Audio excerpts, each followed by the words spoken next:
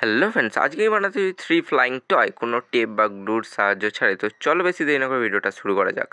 আমাদের first Toyota বানানোর জন্য আমি এরকম তিনটে পেপার স্ট্রিপ নিয়ে নিচ্ছি পেপার স্ট্রিপগুলোকে আমি মাঝখান থেকে ফোল্ড করে নেব।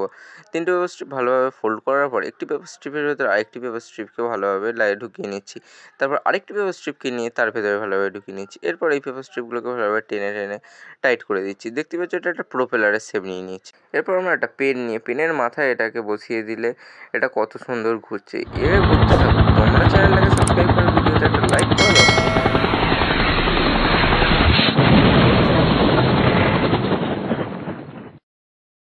আমাদের দ্বিতীয় ফ্লাইং টয়টা বানানোর জন্য আমরা একটা এরম পেপার স্ট্রিপ নিয়ে নিয়েছি। পেপার স্ট্রিপটাকে আমরা মাঝখান থেকে কিছুটা ফোল্ড করে নিচ্ছি।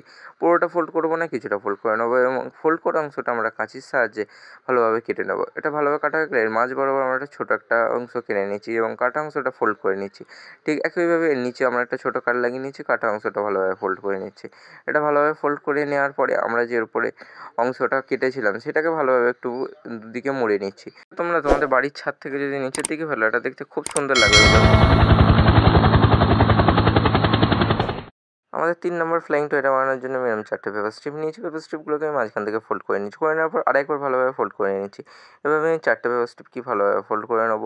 এরপর আমরা একটি পেপার স্ট্রিপের মধ্যে আরেকটি পেপার স্ট্রিপকে ঢুকিয়ে তারপরে আরেকটি পেপার স্ট্রিপের মধ্যে আরেকটি পেপার স্ট্রিপকে ভালোভাবে ঢুকিয়ে এটাকে টাইট করে দিলে এটা একটা প্রপেলারের শেপে তৈরি হয়ে যাবে। তো এই ধরনের আরও ভিডিও দেখার জন্য চ্যানেলটাকে সাবস্ক্রাইব করে দিও। আমাদের খুব তাড়াতাড়ি আড়াই হাজার সাবস্ক্রাইবার হতে চলেছে। তো চলো এটাকে ফ্লাই করে দেখা যাক এটা কত সুন্দর ফ্লাই করে।